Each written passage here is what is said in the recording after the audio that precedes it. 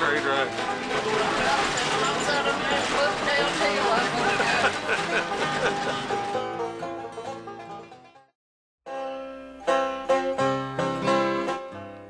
Recently, my sister and I got together, and we wanted to take mom and dad on a train ride in the Big South Fork National Park. Maybe give them a day out away from the hustle and bustle of their home life in the country. You get to take the tour in golf carts they provide you. There's me and mom. Hello, mom. Here's Brandon, Hannah, and little Zoe. But you take almost the entire tour on these golf carts. It's great. Anything you can think of that they used in deep mining and some strip mining, they have it here at this museum. There's also a deep mine that you can take a tour in. I think you go back in 300 feet. We decided not to take that little tour.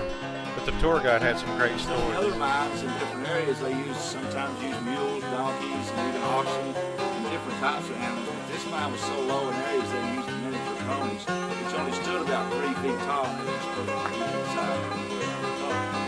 Once they got away, Sometimes Dad would take over and he'd start giving the tour.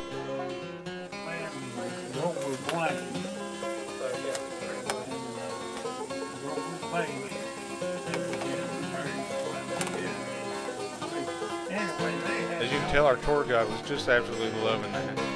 Now, him and Dad got along great, and they were swapping stories the entire time. Uh, like I said, they've got everything you could think of that they'd use in these mines. Uh, and inside the home as well. You can see there's refrigerators, washing machines, sewing machines, firefighting equipment.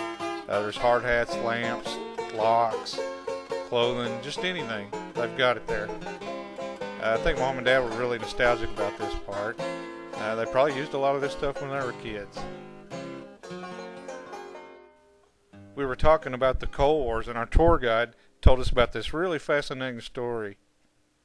in 1908 was the first time they tried to organize at Stearns. Well, the union organizers were actually staying at the Stearns Hotel, mm-hmm. and the company owned it. And the, st- the company found out they were staying there, so they tried to run them out, and, and never could. They actually had a shootout and everything, but they figured the only way to get them out of there is burn it. So they actually burnt their own hotel down just to get rid of it. Uh-huh. And a couple of them got killed. They killed a couple of other people. But that's how strong the company was against unions. Right.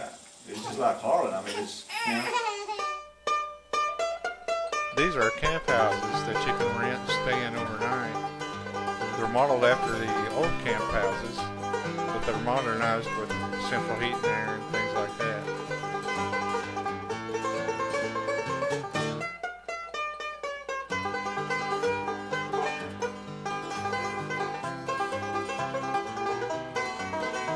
Dad said that he found a spot that looked really interesting. Come back and get him in an hour. But you can see the walls lined with newspapers, just like they had back in the old days. Now, about this point, one of the golf carts broke down, so I decided to give those a little less fortunate a little help. Get moving! Pick up the pace. Pick those knees up. I can be extremely helpful at times. Uh, this is a combination of schoolhouse, church. I don't know if those actually were like that back in the day, but they worked well with this one. This was absolutely my favorite part, the old general store. I, I could have spent days and days looking around in this place.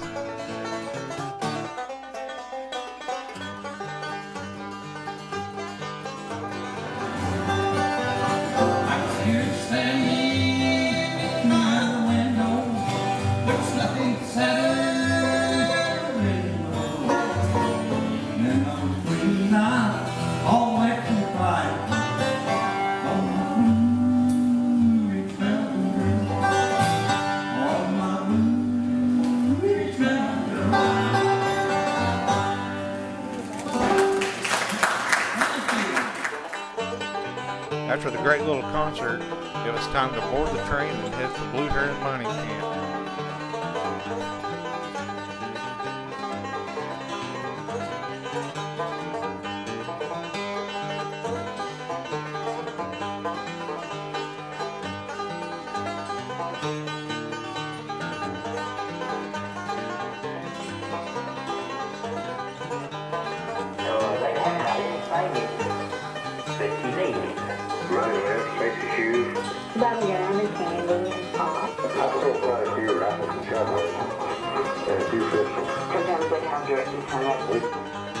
Uh, those that have seen my other videos know that Blue Heron, the national park, has built ghost houses where the uh, former houses stood in this coal camp.